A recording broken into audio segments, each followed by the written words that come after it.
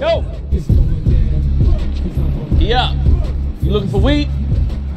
Depends. You got good shit? Put it this way. I sell him his shit. cool. You do nounce? And go sweat. Three bills.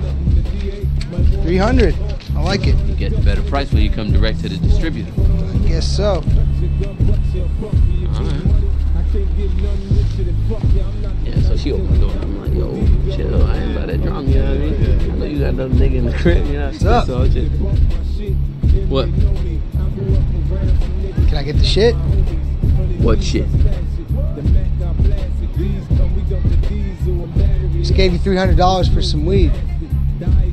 you niggas ever seen this motherfucker before? Nah, I ain't seen shit.